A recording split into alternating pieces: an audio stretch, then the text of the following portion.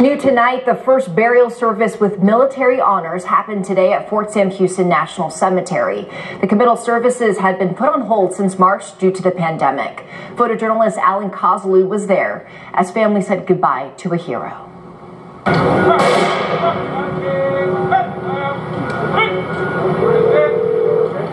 Today we are resuming committal services uh, with certain limitations.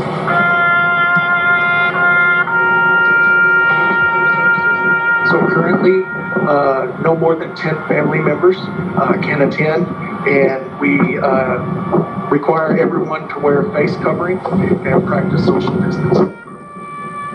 Due to COVID 19, uh, we were restricted to uh, direct burials only.